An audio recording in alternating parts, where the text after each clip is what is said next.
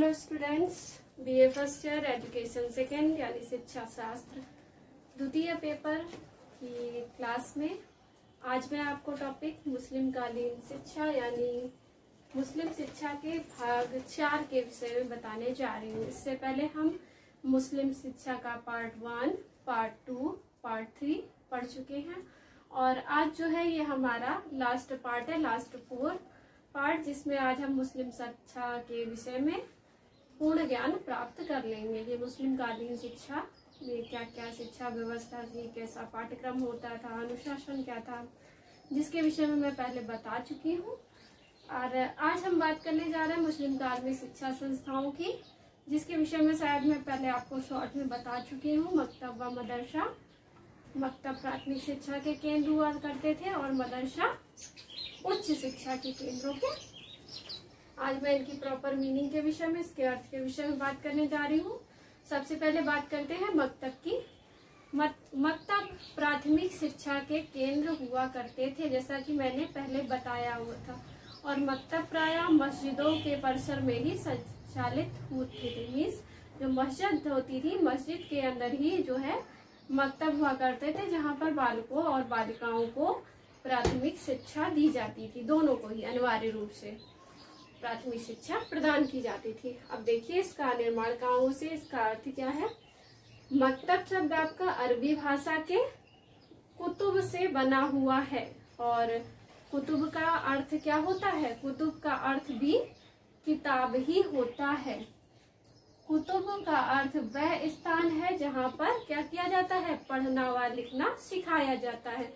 चूँकि मस्जिद में ही संचालित हुआ करते थे और वह स्थान जहाँ पर पढ़ना, लिखाया सिखाया जाता था। अतः से मकतब के नाम से ही जाना जाने लगा।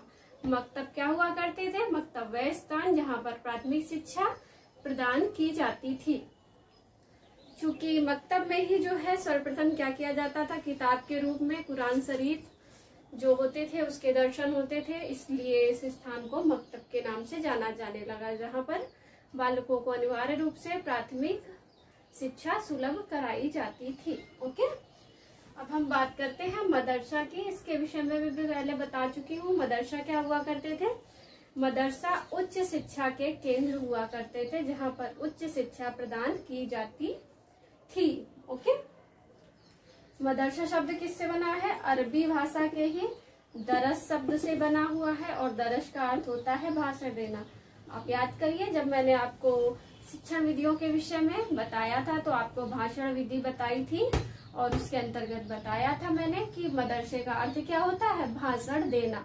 मदरसा का अर्थ ही होता है भाषण देना। क्योंकि उच्च शिक्षा के केंद्र थे मदरसा और यहाँ पर जो है, भाषण के द्वारा ही छात्रों को ज्ञान प्रदान किया जाता था। और ज्ञान प्रदान करने का कार्य मौलवी या जिसे हम शिक्षक भी कह सकते हैं, वो किया करते थे, ओके? अब बात करते हैं हम बिस्मिल्लाह संस्कार की। वैदिक काल में आपने संस्कार पढ़ा था, उपनयन संस्कार, जहाँ से शिक्षा प्रारंभ होती थी, ओके? बौद्ध काल में कौन सा संस्कार पढ़ा हुआ था? याद करिए आप लोग। ठीक है?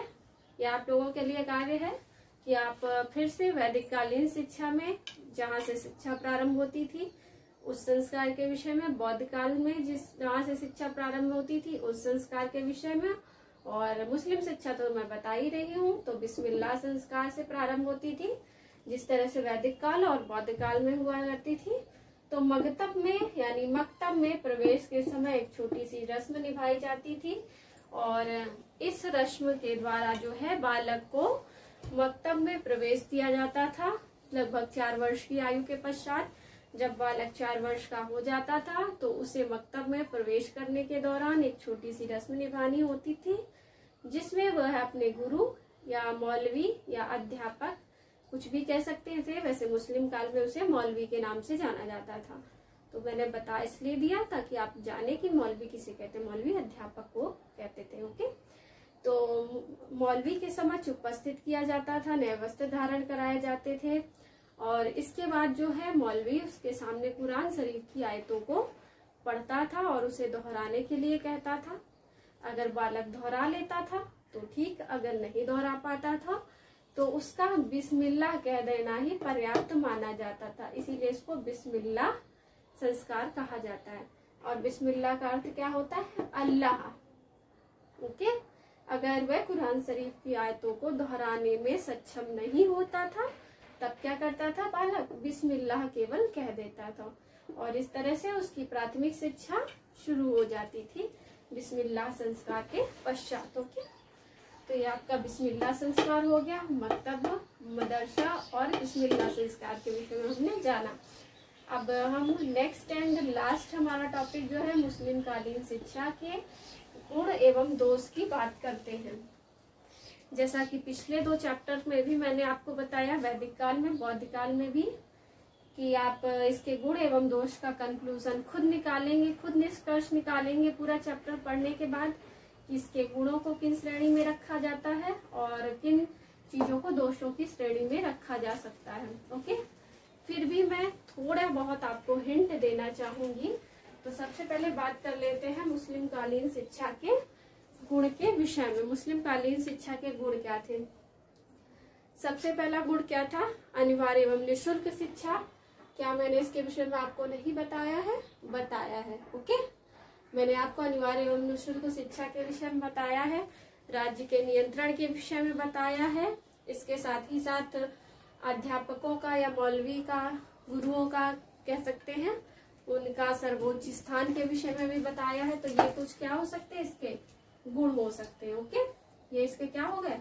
गुण हो गया। इसके, इसी तरह आप और भी जब पूरा चैप्टर अच्छे से पढ़ेंगे तो और भी इसके गुणों के विषय में जानकारी प्राप्त करोगे इसमें और क्या क्या गुण निकल सकते हैं।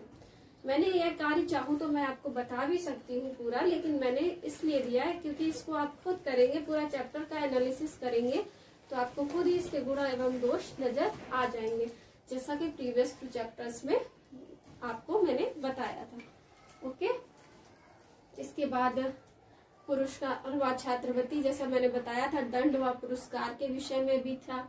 साथ ही साथ इसमें अन्य भी चीज़ें सम्मिलित थी, जैसे विशिष्ट शिक्षा है।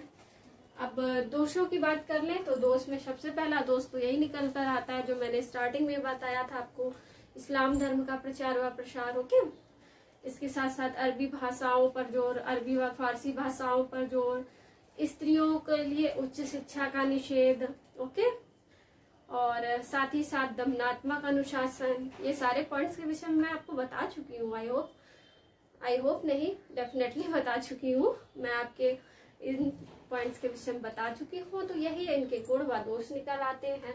अब मैंने कहीं अलग से बताया आपको, नहीं बताए हैं, जो चैप्टर मैंने पढ़ाया है, चार पार्ट में पढ़ाया है, उसी को पढ़ाने पर ही जो निष्कर्ष निकला है, वही उसके गुण व दोष है।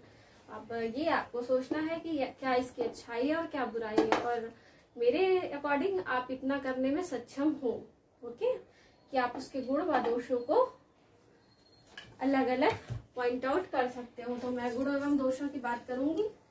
आपको एटलीस्ट फाइव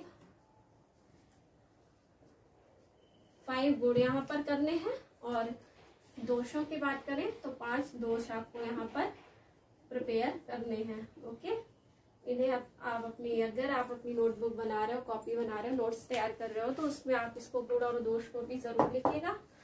पाँच गुण और पाँच दोषों के विषय में लिखिएगा। मैंने बता दिया है आप बस उसको कन्वर्ट करना है आपको। जो पॉइंट बताए हैं उनको आपको डिटेल में कन्वर्ट करना है ओके तो आई होप इतना आप कर लोगे। इसी के साथ साथ आपका मुस्लिम शिक्षा जो है वो समाप्त हो गया। अब हम आगे बढ़ेंगे नेक्स्ट टॉपिक के साथ और नेक्स्ट टॉपिक आपका ब्रिटिश एजुकेशन चलेगा, यानी ब्रिटिश शिक्षा, उसके वो मिलेंगे हम नेक्स्ट क्लास में। Okay student thank you